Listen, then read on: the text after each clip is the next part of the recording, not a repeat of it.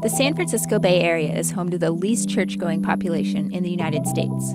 61% of the population does not attend church, and one third of all residents claim no religious affiliation. But there's a group out to change that.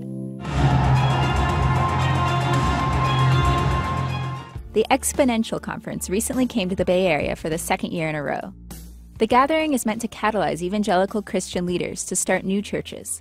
It's called church planting, and the goal of the conference, as the name suggests, is the exponential growth of the religious community. This is kind of the trade show for church planting. Exponential is that. It's the largest gathering of church planting and church planters uh, in the world that we know of. It's American entrepreneurialism and capitalism displayed uh, through evangelical Protestant Christianity. The conference takes place across seven cities, and the Bay Area event drew some prominent figures at the intersection of the church and tech communities, like Pat Gelsinger, CEO of the $60 billion software company VMware. Seven of the top 10 market cap companies in the world are now technology companies. Wealthy, influential, but, next slide, also broken and without faith. I'm the full-time minister of VMware, and I have uh, 23,000 souls that are under my uh, leadership. Gelsinger donates nearly half his annual income to charity, much of it directed to church planting organizations. One of my goals in the Bay Area would be that we're as innovative in our technology and startups as we are innovative in our church planting and startup churches. Sometimes this means starting a new church from scratch and sometimes it means creating spin offs of a successful congregation. My vision would be that we'll plant a thousand new churches in the Bay Area over the next decade. But these churches may look different than you'd imagine. Forget ornate architecture and stained glass windows. Just as everyone's become accustomed to billion dollar companies starting in garages and dorm rooms, these startup churches also meet just about anywhere. You'll hear stories of people who starts in their living room. Uh, a lot of them meet in schools. A lot of them will be, as they get larger, in office parks. The Exponential Conference was held in an office park in San Jose at Echo Church. Echo started in 2008, and since it's expanded to three locations. What's up, Exponential? Lead pastor Andy Wood is in his 30s. At services, he hosts young Christian rock bands, complete with dramatic concert lighting. A part of the benefit of being in more modern buildings is that we're able to take the experience that somebody might be having as they're working at Google or Apple or Facebook and they're listening to music that sounds similar to what they hear on the radio, and they're hearing messages that even have similarities to TEDx talks, and there's a commonality that allows there to be a greater level of openness. Good morning, would you stand with us? Come on, let's put our hands together as we worship Jesus. Echo Church even offers online services every Sunday for those who can't attend in person.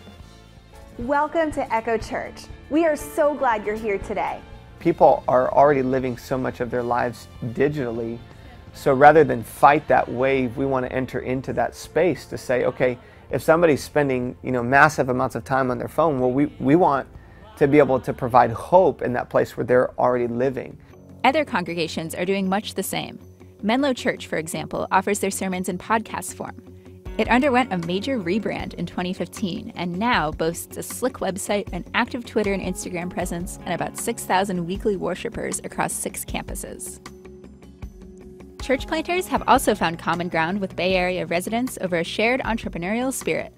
Phrases like return on investment and product market fit flow in conversations with church planters. You know, it's not coffee and donuts. It's okay. What's the business plan? What's the milestones? What's the schedule? You know, what's the demographics? Why, why are people going to come to your church? What are your messages? And that kind of urgency matches the environment of the Bay Area. When Wood started Echo Church, he created a 10 to 12 page strategic plan that he presented to potential funders. We would go to different pastors and churches and leaders and pitch our vision to them um, and share with them the need or the opportunity for them to partner with us financially and invest in this new endeavor.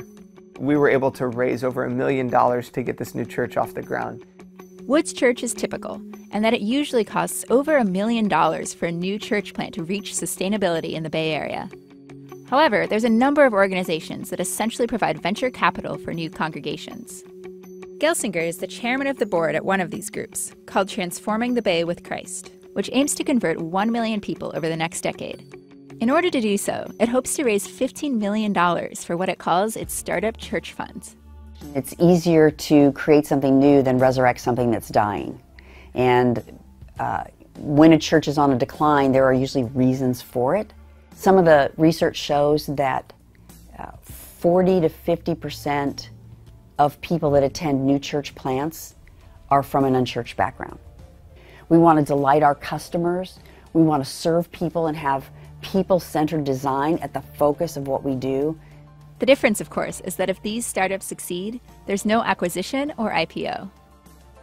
We just said to everybody who invested in our church that there's a reward in, in heaven, there's an eternal reward for investing. You just have to die to vest your stock.